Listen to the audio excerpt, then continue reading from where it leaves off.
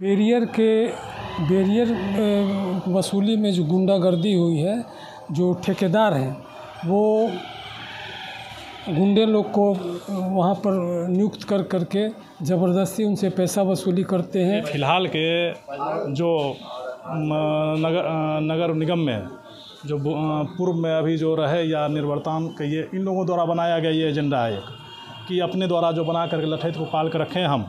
और उनके द्वारा जो है हम ये सारी कार्रवाई करवाते हैं, कमाते हैं कमाते हैं। उनके द्वारा हमारी कमाई का ज़रिया बनता है। हम अभी बेगूसराय शहर के पटेल चौक स्थित एक विवाह भवन में और यहाँ व्यावसायिक संघ से जुड़े बहुत से सदस्य, पदाधिकारी पहुँचे हैं और बातचीत हुई है कुछ। कल उनतीस जुलाई को एक घटना हुई थी बेगूसराय शहर में। एक ई रिक्शा चालक की पिटाई हुई थी जिसमें उसकी मौत हो गई थी।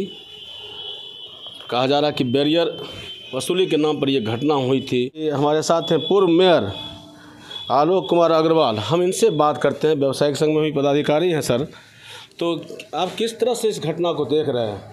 देखिए, आज जिला व्यावसायिक सुरक्षा वाहिनी के द्वारा पटेल चौक के विवाह भवन में आज मिंटू सोनी जी की अध्यक्षता में यह बैठक की गई है। बैठक इसलिए कर रहे हैं कि बैरियर के, बैरियर वसूली में जो गुंडागर्दी हुई है, जो ठेकेदार हैं, वो गुंडे लोग को वहाँ पर नियुक्त कर करके ज़बरदस्ती उनसे पैसा वसूली करते हैं। परसों जो संजय सोनी की हत्या हो गई बैरियर के गुंडे बदमाश के द्वारा, उसके हम लोग विरोध में यहाँ पर बैठक किए हैं। हम देखते हैं कि हर एक चौक चौराहे पर इस तरह के बैरियर के जो गुंडे बदमाश हैं हर एक चौक चौराहे पर हैं और असामाजिक तत्व और वो जबरन वसूली करते हैं। एक ई रिक्शा चालक जो बहुत ही गरीब होता है, या तो वो ठेकेदार से गाड़ी लेके चलाता है, उसको हर एक रात में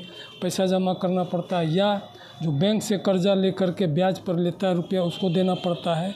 और वैसे शख्स से एक बार वसूल हो तो एक बात हो जब जाएगा तब उसे चार बार पाँच बार दस बार वसूल लिया जाता है। तो इससे बेचारा कहाँ जाएगा? तो उसी के विरोध में कि अब पुनरावृत्ति नहीं हो। क्या करेंगे इसके लिए? हम लोग डीएम साहब से मिले क्योंकि वो ज़िला के मालिक हैं। और हम लोग का ये प्रयास रहेगा कि पहले हमको याद है जब मैं 1978 में नगर पालिका का एक सदस्य होता था उस समय भी वसूली होती थी साइकिल और रिक्शा से। पास लगाया जाता था। पास लगाया जाता था एक बार पास लग जाता था तो वो लोग निश्चिंत होता था बार बार उसको पैसा शुल्क नहीं देना पड़ता था।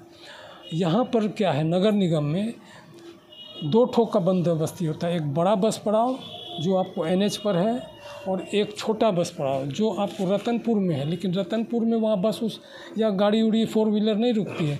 सब वो लोग वसूलता है या तो बीपी स्कूल के पास, चाहे आपको काली स्थान के पास, और वो लोग जो है बंदोबस्तकार हर एक गली चौ, चौराहे पर अपना गुंडा बदमाश को रख दिया है कि तुम पैसा वसूलो। पटना में हम लोग ई रिक्शा कभी ऑटो पर जाते हैं तो दस रुपया देते हैं दूर से दूर जगह जाते हैं। और तो और वहाँ कहीं पर भी गुंडे बदमाश द्वारा वसूली नहीं होती है। तो यहाँ पर भी वैसा सिस्टम लगाना चाहिए। पटना में आपका कहना है कि पटना जैसे पटना जो राजधानी है बिहार की वहाँ नहीं वसूली होता। है वसूली वहाँ नहीं होता। लेकिन बेगूसराय में हो रहा है। बेगूसराय में हो रहा है। पटना में आप आप भी जाते होंगे यदि ऑटो पर चढ़िएगा तो कहीं उसको कहीं रोक टोक नहीं। है। हमारा ये कहना है कि केवल फोर व्हीलर से। जो भी वसूली हो छोटा बस पड़ाओ बस पड़ाओ फोर व्हीलर से हो और यहाँ पर एक गड़बड़ी और है। जो भी एन एच इकतीस से वाहन जाता है माल वाहन ये सब उन लोग के साथ भी रोक करके उसके साथ गुंडागर्दी करते हैं ए, बंदोबस्तकार के गुंडे लोग। चौक चौराहा पर ये जो बैरियर वाला वसूलते हैं तीन चक्का गाड़ी से। तीन चक्का का गाड़ी पर बैरियर वसूली बंद हो इसका नीलामी भी नहीं हो। छोटा बस पड़ाव बस पड़ाव में ये शर्त रख दिया जाए कि तीन पहिया वाहन को वसूलने का लोग को चार्ज नहीं है। जो भी होगा नगर निगम क्या करे कि जैसे पहले रिक्शा साइकिल को पास देता था उसी तरह तीन चक्का वाला का रजिस्ट्रेशन हो उस पर रजिस्ट्रेशन नंबर दिया जाए हम लोग यही कहेंगे कि जो जो लोग ने यह पिटाई करके हत्या की है, गरीब संजय सोनी की, उसको जल्द से हत, उन पर हत्या का हत्या का केस चले और उसके साथ साथ जो इसके बंदोबस्तकार हैं, मानिए जो ठेकेदार हैं, उन पर भी कार्रवाई हो। और हम ये भी कहना चाहेंगे कि जो जिसने ठेके, जो ठेकेदार बंदोबस्ती लिया है और जिनके जिनके गुर्गे के द्वारा उसकी मौत हुई है उसको उस पर भी एक जुर्माना लगा करके पीड़ित परिवार को उसको पैसा दिलाया जाए। अभी नगर निगम के चुनाव होने वाला प्रत्याशी भी हैं धर्मवीर कुमार जी। हम इनसे बात करते हैं कि आप सहमत हैं जो इन्होंने जी कही? बिल्कुल सहमत हैं। ये व्यवसायी सुरक्षा वाहिनी की बैठक हुई थी हुई अभी। उसमें भी मैंने ये सवाल रखा जी। कि ये जिस समय जिस जिस तरह से पास की व्यवस्था थी पहले नगर पालिका के समय में उसी तरह से रिक्शे वालों के लिए पास की व्यवस्था होनी चाहिए।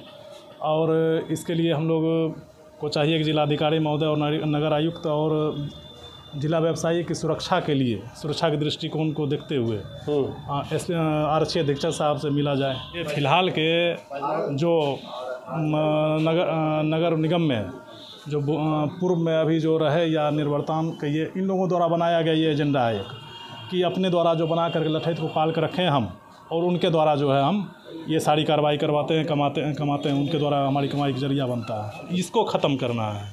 इसको खत्म करना है। पूर्व अभी जो वर्तमान में प्रत्याशी हैं प्रत्याशी होने वाले भावी उम्मीदवार हैं।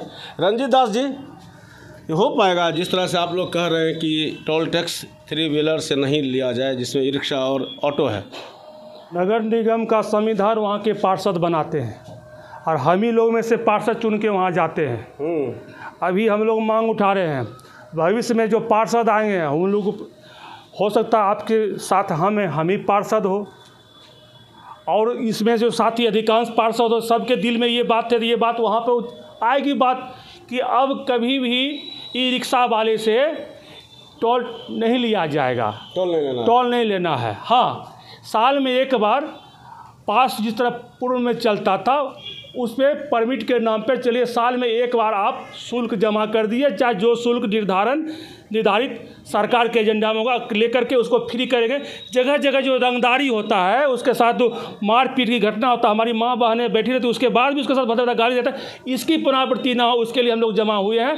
और जो अपराध किए हैं, उसको तो हम नहीं छोड़ेंगे। हम लोग उनको नहीं छोड़ेंगे। अपराध किए हैं तो आपको उसका सजा मिलेगा, ज़रूर मिलेगा। धन्यवाद। हम बिल्कुल कल से इस अभियान में जुट जाएँगे। सबसे पहला हमारा अभियान नहीं होगा, जो पीड़ित जो परिवार जिसके साथ अन्याय हुआ है, उस परिवार के लिए हम लोग तत्काल जो भी लड़ाई लड़ना, प्रशासन से भी बात करके तमाम लड़ाई को लड़ेंगे। साथ ही व्यावसायिक जो स्थिति है बेगूसराय ज़िले में, नगर निगम के खासकर क्षेत्र में, उस क्षेत्र में जो भी परेशानी होंगे, उसके खिलाफ हम लोग सारे जो नगर निगम के क्षेत्र में आता है वार्ड। वो तमाम जगह एक संगठनिक रूप का ढांचा तैयार करके जो भी समस्याएँ व्यवसायी लोग का आएगा, उस समस्या से हम लोग जिला प्रशासन को अवगत कराते हुए और हम अपने दृढ़ संकल्पित होकर इसकी लड़ाई लड़ेंगे और सबको न्याय दिलवाएँगे चलिए, न्याय की बात होती है तो अच्छा लगता है कि जब किसी को न्याय दिलाने के लिए आप एकजुट होते हैं और न्याय तो मिलना चाहिए लोकतंत्र में, खास करके कमज़ोर लोगों के पक्ष में आप खड़े होते हैं तो ये बड़ी बात होती है।